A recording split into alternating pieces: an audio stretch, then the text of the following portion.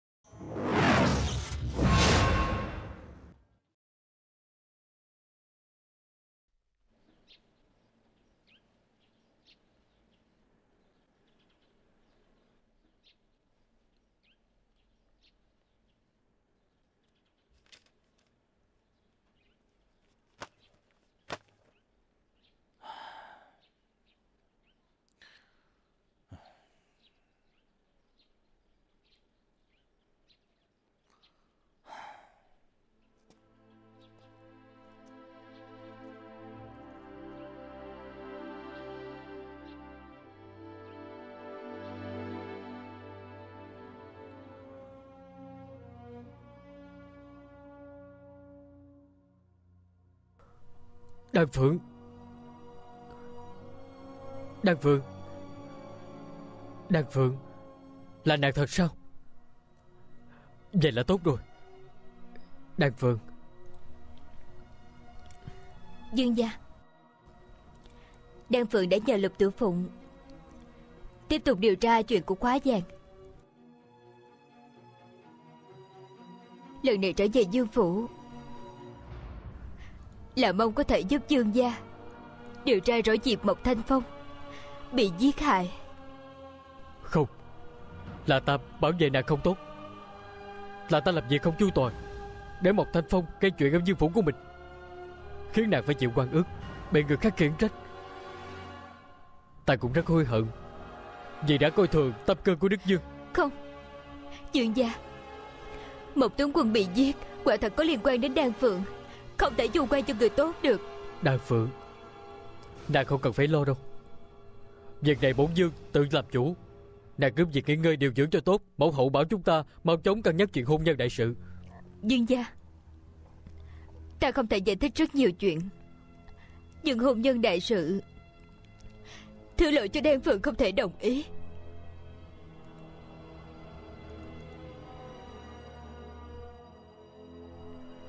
Đừng nói nữa.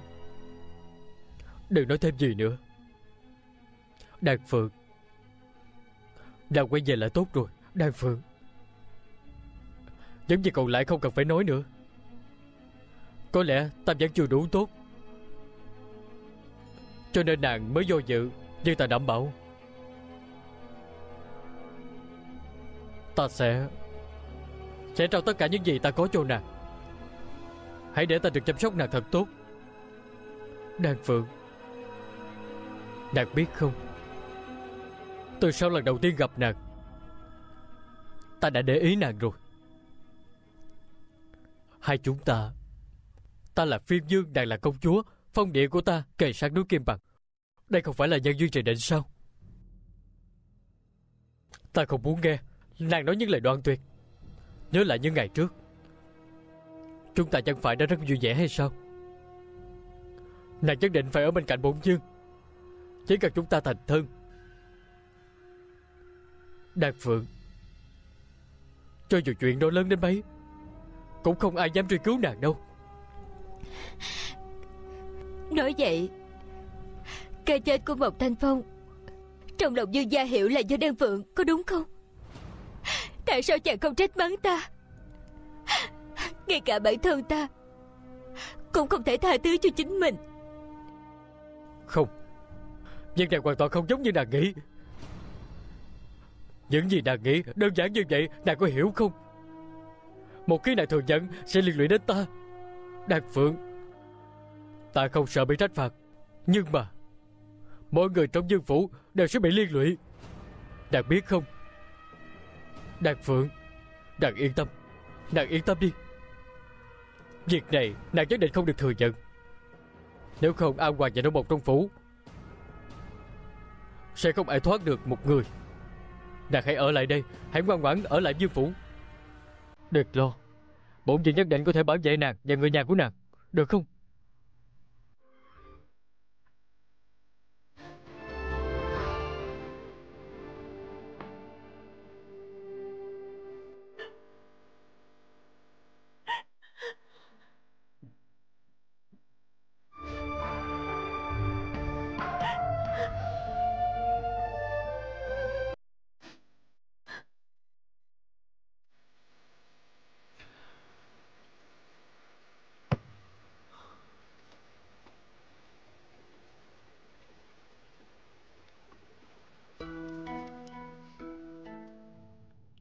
Nè Sao lại thở dài. Lục tiểu phụng ta Trước giờ chưa từng bất lực. Đẩy nữ nhân Của mình cho một nam nhân khác. Cuối cùng bất luận ai thắng hay thua Nhất định là ác gặp ác Ở hiền gặp lành. Có điều ta hy vọng quắc hưu đừng chết trong tay đang đồ. Mối thù này ta nhất định phải tự tay báo thù mới gọi là ta. Ta đã nói quắc thiên thanh Gửi lời tới quắc hưu rồi. Có lẽ hắn sẽ chủ động đến tìm ta Nếu hắn biết điều Thì sẽ giao chìa khóa ra. Hmm. Vậy huynh thở dài cái gì? Ta biết Vì có một đối thủ rất mạnh Cũng đang đeo đuổi đan phượng. Ơ Cô ấy sẽ không bị vệ dương gia đó Làm cảm động thật chứ? Nè Hả? Ta sợ nhất chính là nói việc này đó. Ờ Được được được được. Không nói không nói nữa Huynh nói không thích nghe Thì sau này ta sẽ không nói nữa. Mặc dù trong lòng ta biết ta cũng không nói được nữa. Ờm, Có cần ta giúp huynh nói với vệ dương gia? Không để hắn đến nhường đan phượng. Đan Phượng quá đơn giản. Còn cảm thấy khó coi Vì lợi dụng vệ dương. Hả? Một nam dân Phong lưu phóng khoáng ngọc thụ lâm phong. Ta Ừm. nghĩ là cô ấy thích ta, ta nhiều hơn. biết. Huynh nghĩ về Dương không giỏi dỗ dành nữ nhân như Huynh Đừng quá dương dương tự đắc nữa. Tốt xấu gì Huynh cũng là một đại hiệp Một ngày Huynh không nói thì toàn thân cảm thấy khó chịu đúng không? Nè Vì đâu không phải mũi nói là không nói nữa hay sao? Ừ, Ta, ta quên mất. Xin lỗi nha. Ta không nói nữa đâu.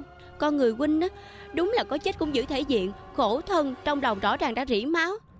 Bên ngoài thì còn ra vẻ nữa Nhưng không có chuyện gì. Từ khi nào muội thành tri kỷ của ta vậy? Ừ, Ta... À Một tri kỷ khác của Huynh đến rồi kìa Vẫn chưa ăn cơm đúng không? Nào lại đây ăn vài món ta làm. Wow! Lục tiểu phụng Có nữ nhi hồng mà Huynh thích nữa nè. Sao muội biết được chứ? Ồ ta Ừ, Huynh nói nhiều quá rồi Uống rượu của Huynh đi. Bà chủ à Cùng uống đi. Có ai tính bầu bạn với Huynh chưa đủ sao? Ta còn về với lão chu nữa. Hả? Hai người từ từ ăn ta đi trước đây Nè. Một ly nha. Được.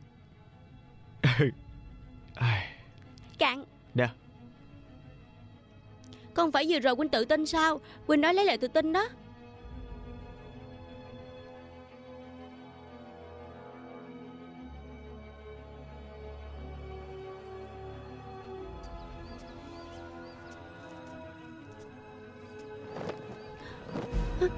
Quắc hưu À tính cô đương đừng kích động.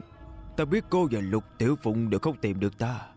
Nên ta chủ động tới Con người ta thế nào không tệ chứ? Người dám đến tìm cái chết.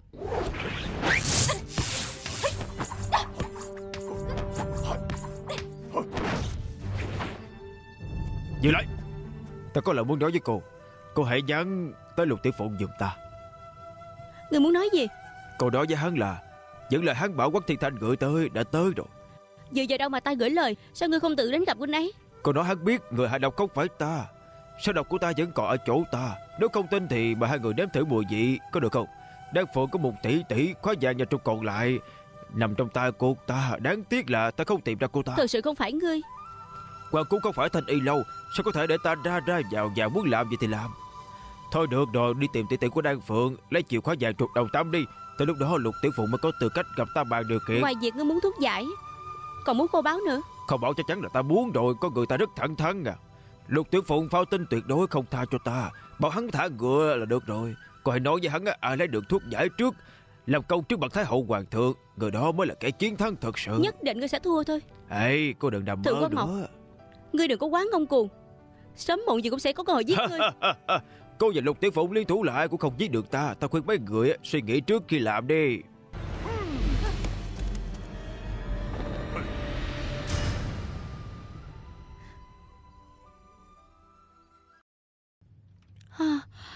Hưu nói hắn không hạ độc. Hắn nói sau độc của hắn vẫn còn Nếu chúng ta không tin thì hắn lấy ra. Kẻ hạ độc đúng thật không phải quắc hưu. Ngoài hắn ra Cũng chỉ có đan đồ thôi. Biết cách hạ độc bằng sâu độc. Ờ Quắc hưu cũng nói như vậy. Hắn bảo huynh tìm được đan đồ Rồi hãy nói điều kiện của hắn. Tiếc là đan phượng Cũng không thể thuyết phục được đan đồ sao độc của đan đồ không phải quốc khu đưa cho? Lẽ nào Cô ta đã lấy Con ở trên núi Kim Bằng sao? Làm sao có thể khiến cô ta hợp tác đây? Hay Tâm địa của cô ta độc ác như vậy Chắc chắn sẽ rất khó hợp tác.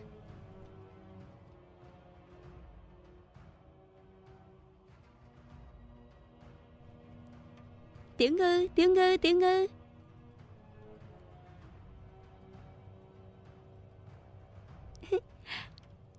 Sao mùi lỡ đây một mình? Lục Tiểu Phụng đâu? Quỳnh ấy hả? Còn phải đi tìm người trong lòng rồi. À tính. Ta cảm thấy dạo này cô thay đổi rất nhiều. Hử? Ý cô là sao? Ý ta là bây giờ cô trở nên cởi mở rất nhiều. Có phải muốn đếm thử tình cảm mới hay không?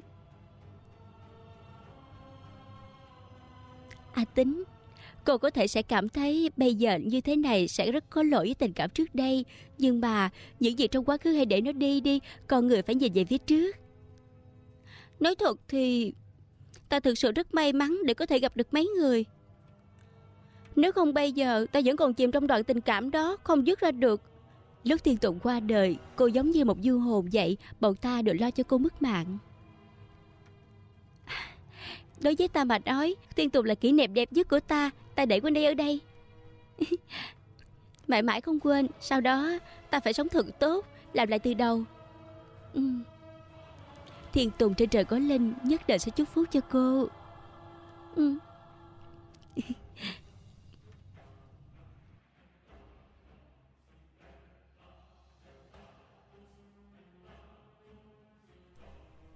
Tham Tham kiến về dương gia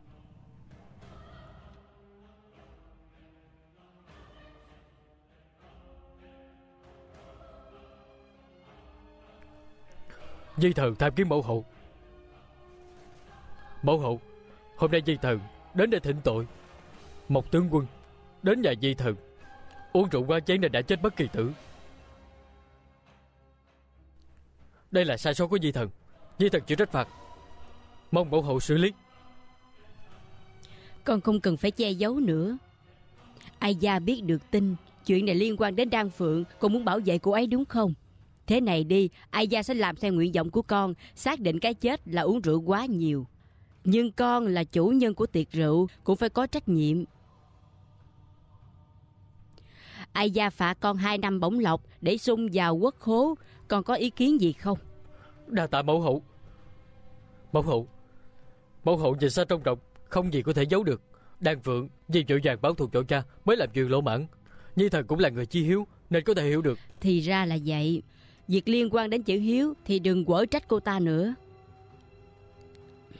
Đứng dậy đi. Về dương gia. Triệu Tổng quản Dạ có nô tài. Mộc Thanh Phong trải qua hai đời đế dương.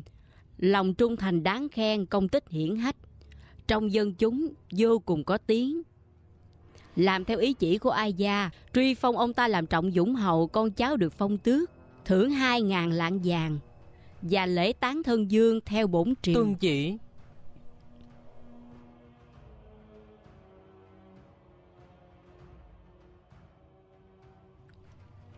Hoàng Nhi Con vì đang phụ tình nguyện chịu phạt Tình cảm sâu nặng như vậy Cô ta cũng thật lòng với con chứ. Mẫu hậu Đan Phượng và con vô cùng hợp nhau.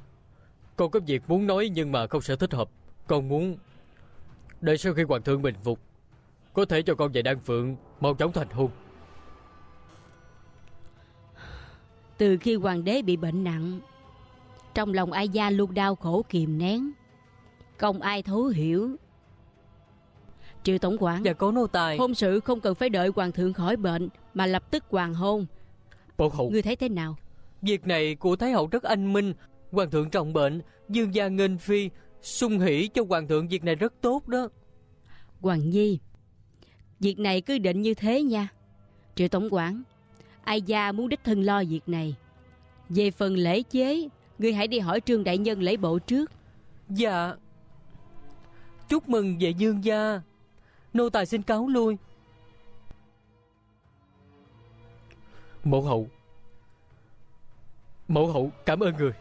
Hài Nhi thật sự không ngờ Người lại đưa ra quyết định như vậy. Hoàng Nhi Tình hình trong cung đã nguy hiểm như vậy Chuyện của Mộc Thanh Phong, Ai gia sẽ cố hết sức để giúp đỡ an ủi. Nhưng Đức Dương có thể vẫn sẽ nghi kỵ con, Nói không chừng sau này sẽ lấy việc này làm cái cớ gây ra bất lợi cho con. Thành hôn cũng gọi là cho con con đường lùi, Để con toàn thân rút lui. Bộ hậu, Thật ra cái chết của một tướng quân hoàn toàn là bất ngờ. Dù sao hắn cũng là thần tử, Còn chúng con Là huynh đệ ruột thịt. Đức Dương sẽ không tuyệt tình với con Con chưa từng có ý tranh giành độc vị. Cho dù đợi thế nào thì sau khi hoàng hôn Hãy mau chóng quay về Thừa Châu. Đức Dương gia cũng sẽ không có cách nào đối phó con. Ai gia sẽ cảnh cáo hắn. Mẫu hậu Hài Nhi hiểu nỗi khổ tâm của người. Năm đó Ai gia khẩn cầu tiên đế rất nhiều lần Mới giành được Thừa Châu cho con. Núi Kim Bằng gần kề Thừa Châu Con và Đan Phượng hãy an cư ở đó cũng có thể xoa dịu được nỗi nhớ nhà của Đan Phượng cô nương. Các con có thể thái bình yên ổn, Chính là niềm an ủi lớn nhất của Ai gia. Mẫu hậu, Người hãy yên tâm.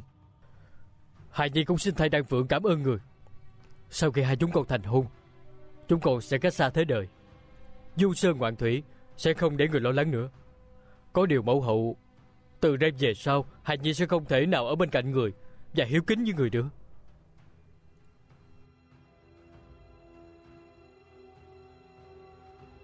Phụng ý chỉ của Thái hậu. Vậy dương gia và Đăng Phượng nghe chỉ.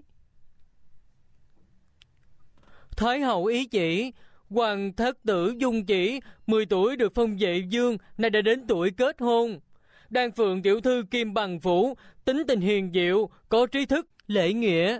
Không có người thứ hai thích hợp với ngôi vị dương phi của thất hoàng tử Cho nên ban hôn Thưởng đất đai Nô tỳ thị vệ Đều do phủ nội vụ cấp phát trong hôm nay.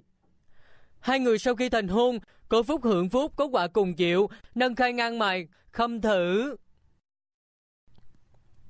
Tạ ơn Hoàng Thế Hậu ân điển.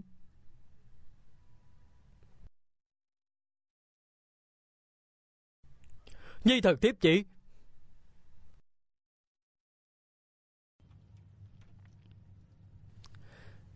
Chúc mừng dương gia dương phi Nô tài chúc dương gia dương phi, Bách niên hảo hợp Vĩnh kết đồng tâm. Đa tạ triệu tôn quản Dương gia khách sáo rồi, Nô tài xin cáo lui.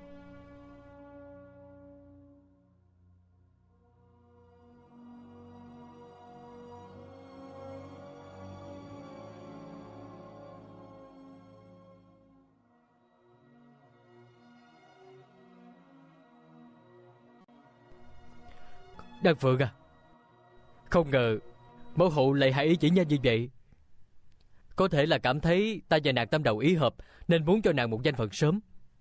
Còn nữa Hôn sự của chúng ta Có thể tích phúc cầu nguyện cho hoàng thượng đó. Chuyên gia Ý chỉ này quá đột ngột. Ta Ờ Việc này không có gì là đột ngột hết. Mẫu hậu nhiều lần hối thúc Nhưng ta không muốn gì để có con cháu nối dõi Mà lấy một nữ nhân không có tình cảm. Kể từ lần đầu gặp nàng Ta đã trúng tiếng xét ái tình nhưng bệnh tình của Hoàng Huynh Cứ kéo dài không thấy khởi sắc. Ta cũng không dám đề cập đến hôn sự. Hôm qua, Mẫu hậu đã chủ động nhắc đến hôn sự. Đạt Phượng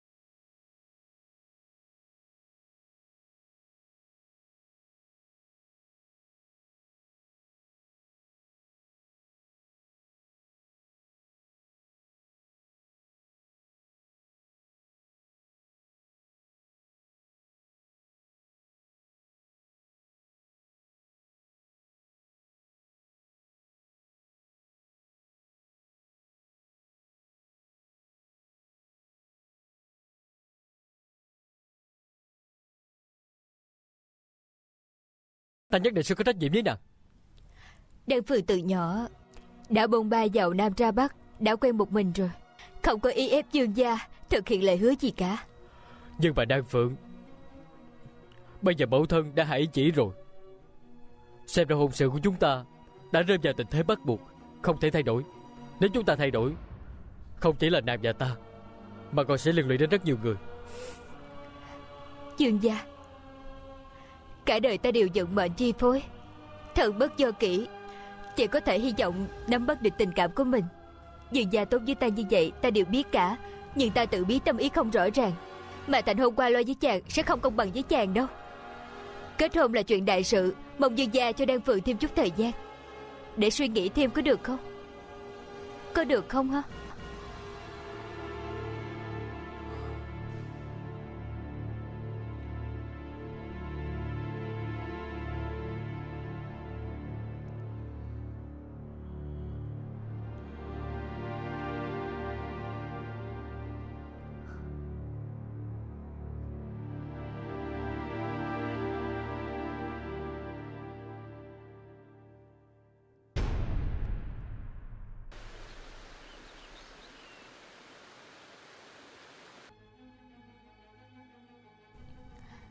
Lục Tiểu Phụng.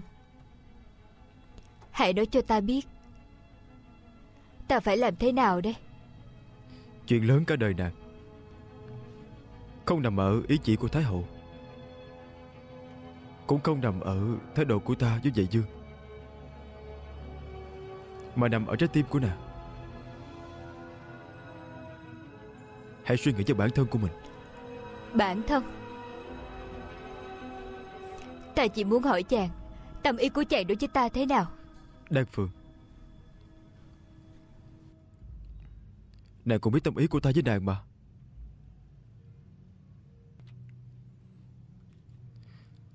Ta rất yêu nàng.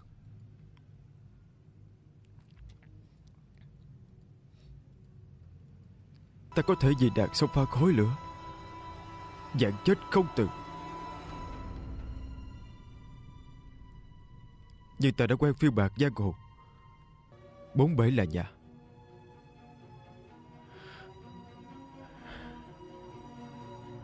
Ta không biết lúc nào Ta mới có thể yên ổn được. Đan Phượng. Ta thật sự không thể nói ra được hai chữ thành hôn. Tình yêu vốn dĩ buông ra là mất. Nhất thiết phải hứa hẹn, Ai có thể đảm bảo được đây? Vui vẻ bên nhau là được rồi. Quan trọng hơn bất cứ thứ gì khác. Chàng có biết. Tại sao Thái Hậu lại phải gấp gáp chỉ bằng hôn như vậy? Ngoài việc sung hỉ. Còn bởi vì vậy chứ Tìm mọi cách giữ ta lại. Thật nực cười. Người ta yêu đậm sâu không muốn hứa hẹn. Người ta không yêu thì nhiệt tình khó cản. Hôm đó là chàng. Để ta về dạy dương phủ. Rốt cuộc chàng nghĩ thế nào? Có phải cũng đang lợi dụng ta? Ta không muốn mất nợ dạy dương.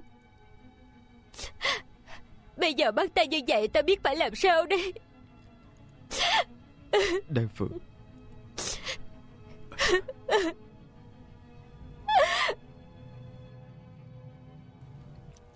Lẽ nào bảo chàng?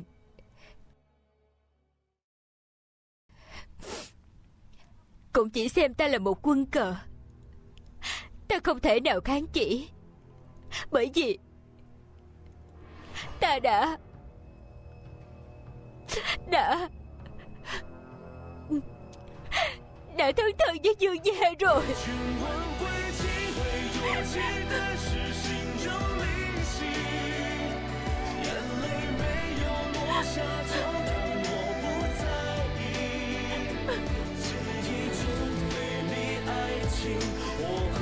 珍惜，所以我选择把所有感觉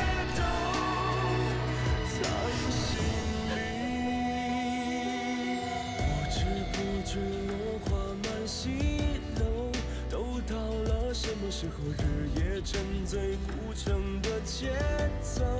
忘记了什么很久很久，身体漂浮在方舟，再也不要不要说什么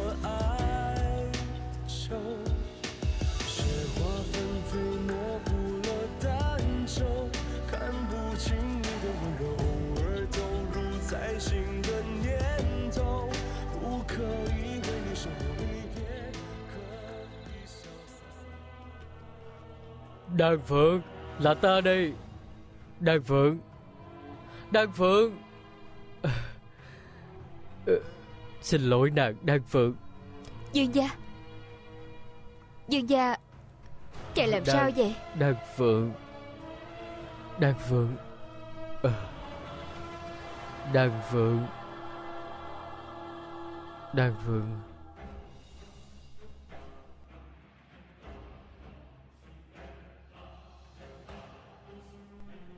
Đan Phượng. Dương gia.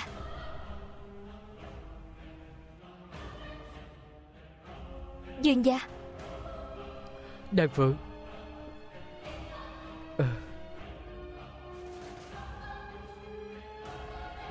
Chàng sao vậy? Sao lại say đến như vậy? Chẳng phải cổ nhân đã nói như thế này sao? Uống sai giải ngàn sầu nhưng ta phát hiện Mượn rượu giải sầu Sầu lại càng sầu. Thật ra ta biết, Trong lòng nàng Vẫn không quên được lực tiêu phụng. Mỗi lần ta nghĩ đến việc nàng Nhớ hắn, Nàng biết trong lòng ta Đau khổ như thế nào không?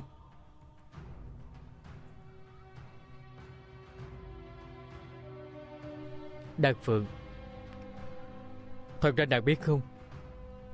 Từ lúc ta 10 tuổi Đã mong đợi sẽ có một người Có thể nói chuyện với ta Trò chuyện Cùng ta. Trải qua khoảng thời gian tươi đẹp Nhưng mấy năm nay Hy vọng của ta đều tan vỡ. Cho tới khi nàng xuất hiện. 10 tuổi? Đúng vậy Năm 10 tuổi Ta được tiên đế sắc phong phiên dương Đến phong địa Thường Châu xa xôi. 20 năm nay Chỉ về lại kinh thành không quá ba lần. Lần này là vì hoàng thượng bệnh nặng ta mới quay về. Lúc 10 tuổi Chàng vẫn chỉ là một thiếu niên Chính là lúc mới bắt đầu hiểu chuyện nhân sự. Không sai. Ta thật sự không hiểu. Đức Dương không ra gì Có thể giữ lại Dục Dương phạm tội bất kính cũng có thể giữ lại. Tại sao ta không thể giữ lại chứ? Mẫu hậu, là phi tử mà tỷ đế sủng ái nhất. Nếu bà cầu xin, Thì ta có thể làm được, Nhưng mà không làm vậy. Lúc ta đi, Vừa trúng tháng chạp, Đại tuyết bay đầy. Chạy lấp hết đường đi. Người ngựa của ta tiến toái không đặng, Bị nhốt tại một sơn thôn quan giả Một tháng sau, Lại bắt đầu lên đường. Đến được Thừa Châu đã là đầu xuân. Trên đường đi Ta cứ khóc suốt Ta cảm thấy Mình là kẻ bị chính cha mẹ mình dứt bỏ. Dương gia Có lẽ Thái hậu nương nương Cảm thấy triều đình quá hiểm ác Để cố tình chàng có bay xa chạy Là một con hạt tự do Tránh khỏi tranh giành quyền lực. Đúng vậy. Nếu như ta có thể giống một bách tính bình thường Yên ổn sống quãng đời còn lại Thì không có gì để nói nhưng ta cứ nhất thiết Là người sinh ra trong gia đình đế dương. Ở Thừa Châu, Tuy bên ngoài là thân dương, Là người quản hạt cao nhất nơi đó, Nhưng mà Thật ra ta đã bị cầm tù. Ta giống như ngồi trong một chiếc lồng giam Đầu đầu cũng bị người ta khoa chân múa tay. Từng bước không thể khinh suất. Nàng biết không khoảng thời gian sống không bằng chết đó, Ta đã sống như thế nào không? Nói gì mà cộng tụ thiên luân? Nói gì mà huynh đệ hữu ái? Càng xa về không thể nhắc đến? Ta thật không biết. Chàng lại gánh vác nhiều như vậy. Ta bị quan viên địa phương Giám sát rất chặt. Không có một chút tự do. Bất luận ta làm gì Họ đều bấm báo lên kinh thành. Sau đó Ta không thể nhẫn nhịn được nữa. Cho nên kể từ đó ta không rời khỏi phiên dương phủ một bước. Ngoài phi long ra ta không gặp ai cả Dương gia. Đều nói là thân dương Nở mày nở mặt như thế nào? Quá ra sau lưng lại nhiều chua sót như vậy Đan Phượng có thể hiểu được cảm giác cô độc và bất lực đó. E là những chua sót đó của ta. Ngay cả mẫu hậu đại nhân Cũng chưa chắc biết đến. Đan Phượng Những lời này ta chưa từng nói với người khác. Đan Phượng Những lời này ta cũng chỉ nói với một mình nàng mà thôi. Nàng là người đầu tiên nghe được những lời này. Mấy năm nay Chắc là chàng rất buồn phiền. Rất đau khổ đúng không? Phải. Ta sống rất buồn phiền. Sống rất cô đơn. Trong lòng ta thật sự trống rỗng. Thế nên ta gặp được nàng. Liền cảm thấy hai chúng ta số phận giống nhau. Ta chỉ muốn mỗi ngày được nhìn thấy nàng là đủ Ta muốn nàng ở bên ta. Nếu vậy, Trong lòng ta mới cảm thấy ấm áp, Mới không cảm thấy trống rỗng. Đạt Phượng, Ta biết ta rất ích kỷ. Lúc bầu hậu có ý tác thành cho hôn sự của chúng ta, Lẽ ra ta phải ngăn cản bà hạ chỉ mới phải.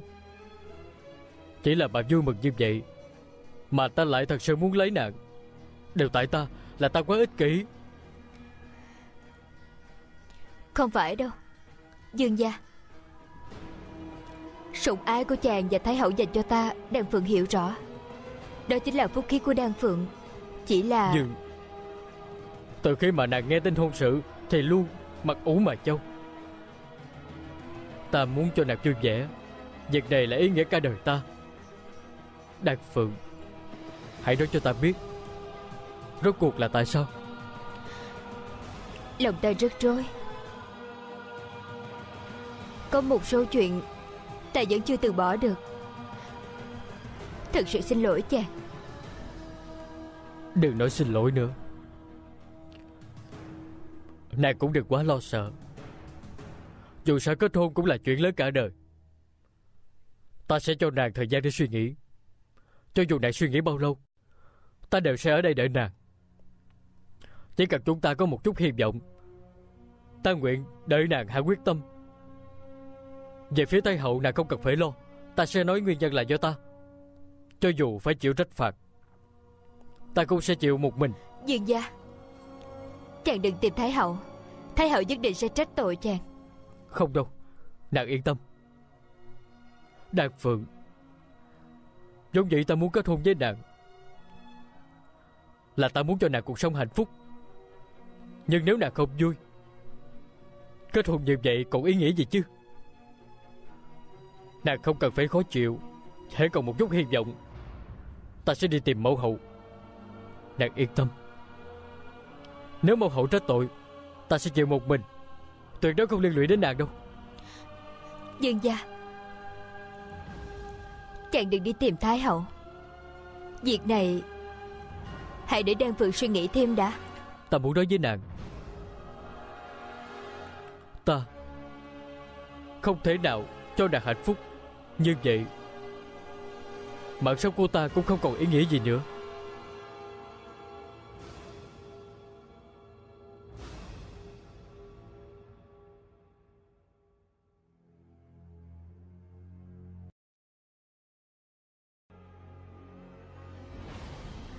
Nếu như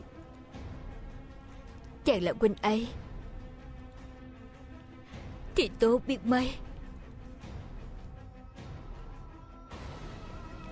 Nếu quỳnh ấy là chàng Thì tốt biết bao.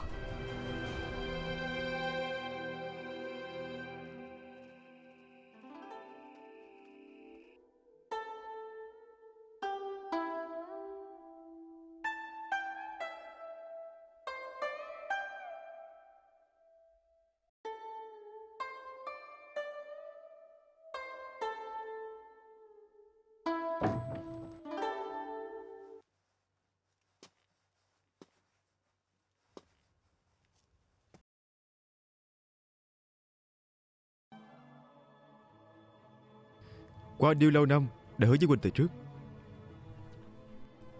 Vừa nghe thấy mùi rượu Lại biết ngay huynh đến.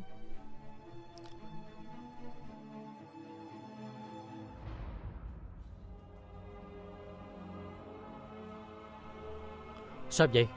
Có tâm sự sao? Là nội thương. Trái tim ta Đã bị tổn thương. Thái hậu nương nương Ban hôn cho đan phượng cô nương và về dương gia trong cung trên dưới đều biết cả rồi. Hôm nay cô ấy tới tìm ta. Khóc đến trái tim ta cũng tan vỡ. Nhưng ta vẫn không dám hứa với cô ấy. Nhiều người đều nói lục tiết phụng ta Là đại hiệp, Anh hùng cái thế. Đáng tiếc, Thật sự đáng tiếc. Ta Chẳng qua chỉ là một kẻ nhu nhược Ích kỷ. Ngay cả hạnh phúc của một nữ nhân Cũng không dám cách giác. Gọi là anh hùng gì chứ? Anh hùng thật sự Không chỉ vì nước vì dân Thỉnh nguyện vì dân.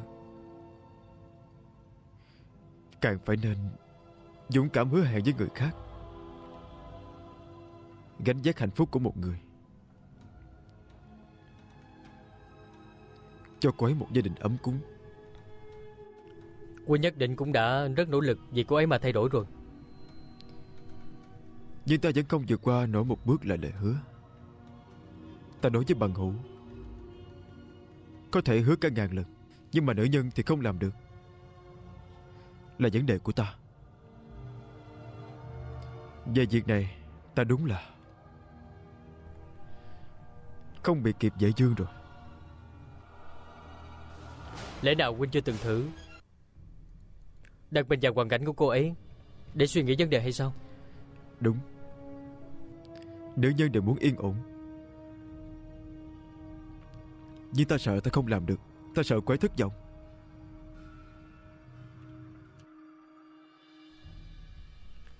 Thật ra Huynh chẳng qua là chỉ không tin tưởng vào bản thân mình thôi. Huynh không tin rằng Thật sự có thể mang lại hạnh phúc cho cô ấy Có thể là như vậy. Có tới mấy lần, Ta đã muốn bất chấp tất cả, Không đẩy quấy cho người khác. Nhưng đột nhiên ta lại nghĩ tới bà chủ. Bây giờ cô ấy lấy chu trình Sống cuộc sống vừa yên ổn, vừa tự tại. Tốt hơn lấy ta. Nếu lúc đó, Cô ấy thực sự lấy ta, Thì hôm nay ta vẫn sẽ đồng lòng vì Đan Phượng. Nếu hôm nay Đan Phượng lấy ta Thì sau này ta có thể rung động với một nữ nhân khác. Thôi thôi bỏ đi. Bỏ đi.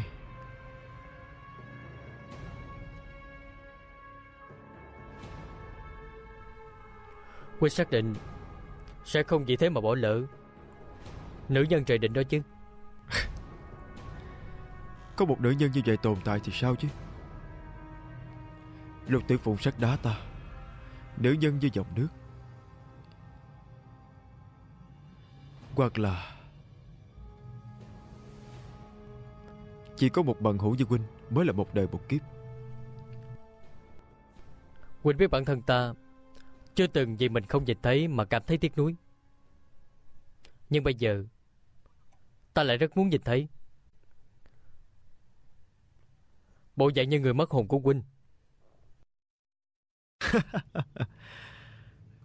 Có người mất hồn đến thế nào? Thì ta cũng là. Lục đại hiệp anh Tuấn tiêu sái mà. May mà Quynh không nhìn thấy. Nếu không, Quynh cũng bị ta mê hoặc thôi. Được rồi được rồi. Không nói nữa. Đây là câu đố ngàn đời, Mãi không thể giải. Quắc hưu nói, Hắn không phải người hài độc. Bảo ta đi tìm trục đồng tâm và chìa khóa. Lúc đó hợp tác với hắn ta. Tiếp theo Phải đi gặp Đan Đồ rồi. Phải nghĩ cách Đi gặp cô ta chứ.